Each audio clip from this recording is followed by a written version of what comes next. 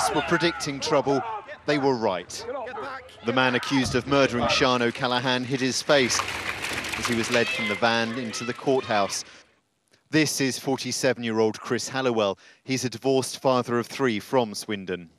It was just a short appearance. Chris Halliwell spoke only to confirm his name, date of birth, address, and that he understood the charges. As he was led away from the dock, some people in the public gallery shouted abuse at him. He was remanded in custody until another hearing on Wednesday.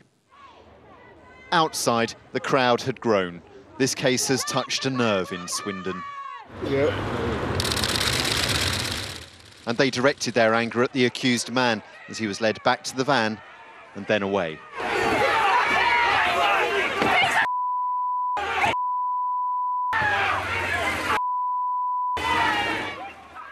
Sian O'Callaghan was 22.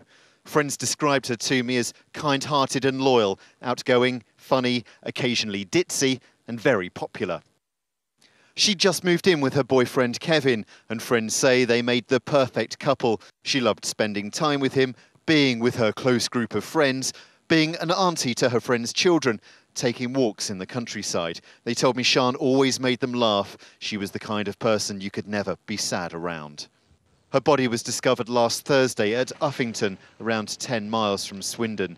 She was last seen alive leaving the Suju nightclub in Old Town early in the morning two Saturdays ago.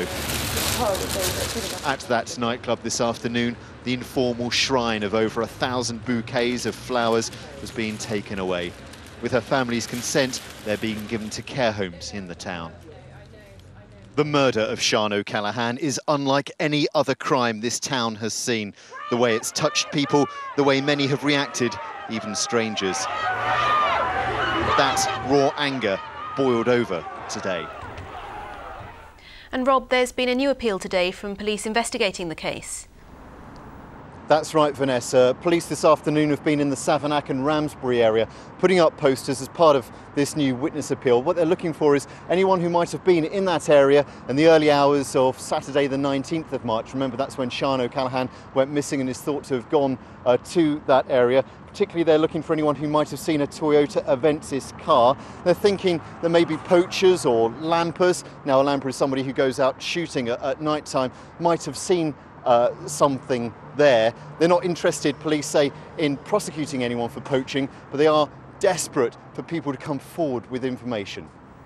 And finally, Rob, in a separate development, tests are continuing on a body found in Gloucestershire.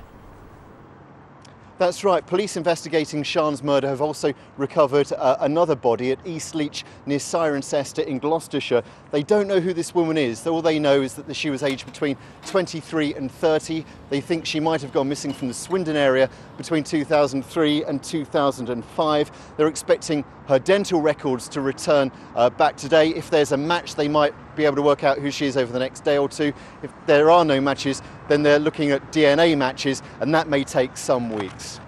Robert Murphy live in Swindon for us tonight. Thank you.